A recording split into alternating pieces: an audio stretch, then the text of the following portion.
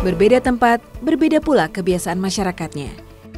Di wilayah pesisir Kendal, sungai tak hanya menjadi tempat menyambung hidup, akan tetapi sungai juga menjadi lokasi identitas profesi warga. Salah satu kegiatan perburuan ikan yang dilakukan di wilayah muara sungai adalah gebyuk ikan.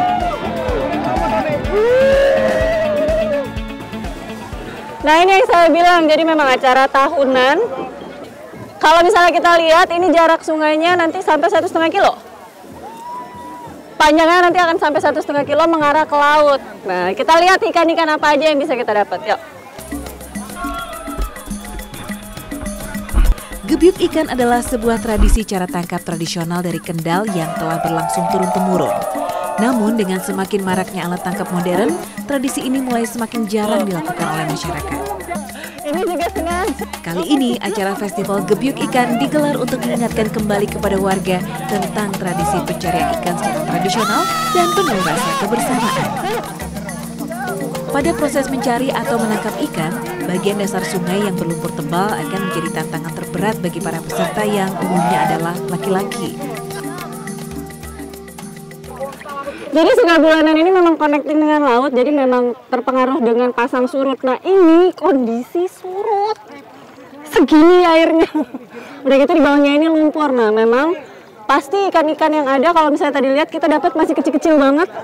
Nah ini tadi alatnya, cok kenceng pak.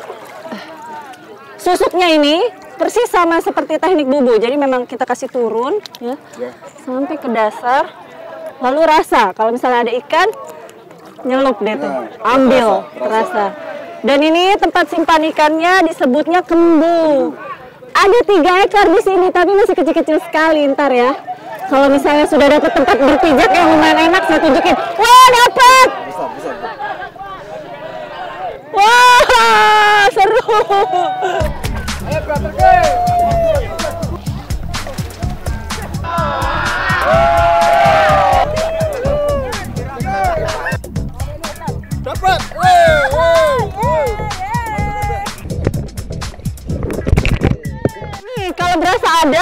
Dalam kayak gini. Ada. Yeay. Apa itu? Ikan apa? Ikan ute. Ikan ute namanya. Nggak kelihatan jelas nanti ya, nanti ya kita lihat terakhir ya. Tapi ini adem nih, selesai-selesai satu setengah kilo mah keriput nih pak. Dingin.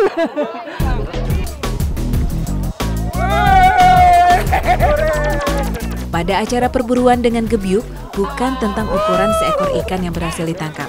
Akan tetapi, tradisi ini adalah gambaran kearifan lokal masyarakat yang terbiasa menangkap ikan dengan cara yang ramah lingkungan, tanpa setrum, tanpa pukat, dan tanpa racun ikan.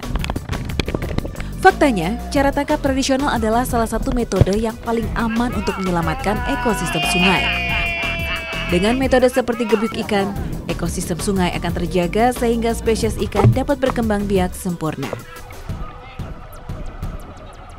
Ini sebenarnya masyarakat pesisir yang sudah terbiasa melihat ikan, tapi giliran ada acara gebyuk begini, semuanya ikut andil seru-seruan. Bahkan kalau menurut mereka nih sebenarnya udah biasa gitu, tapi lihat kebersamaannya tuh keren. Kenapa? Karena acara-acara seperti ini biasa kalau di Padang dibilang kelompok larangan, kalau di daerah timur disebut sasi. Ini tuh lazim dilakukan oleh masyarakat yang tinggal di pegunungan, bukan di pesisir. Jadi ini value-nya luar biasa kalau menurut saya kalau masyarakat masih mempertahankan kegiatan ini. Gebyuk ikan hanya mengandalkan tenaga dan tentu saja sedikit keberuntungan untuk merebut ikan target buruan. Namun hal ini tidak menjadikan kegiatan gebyuk ikan sebuah metode yang mudah. Tak heran kegiatan ini hanya dilakukan oleh para pria.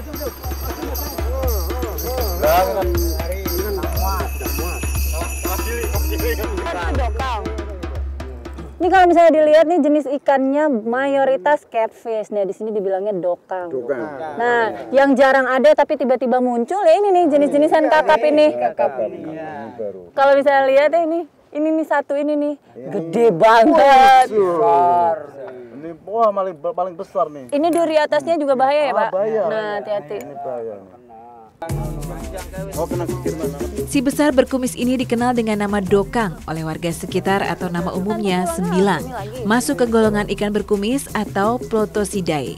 Habitatnya banyak ditemui di perairan tawar hingga payau. Uniknya sembilang, ia akan menyimpan telur dan anakannya di dalam mulut. Bagi para pemancing ikan, ini sangat mudah ditangkap karena pola makannya yang sangat rakus. Oh gini. Ah, sini mbak. Ini kayaknya 3 kilo mbak. А как? Побрать!